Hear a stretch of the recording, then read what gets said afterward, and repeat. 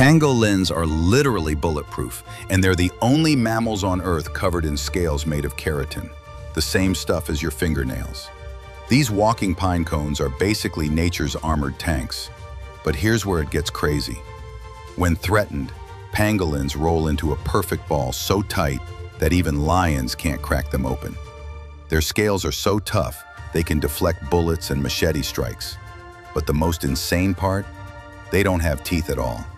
Instead, they have tongues longer than their entire body that can extend up to 16 inches to slurp up 20,000 ants per day. Picture this. A pangolin's tongue is so long, it's actually attached near their pelvis, not their mouth.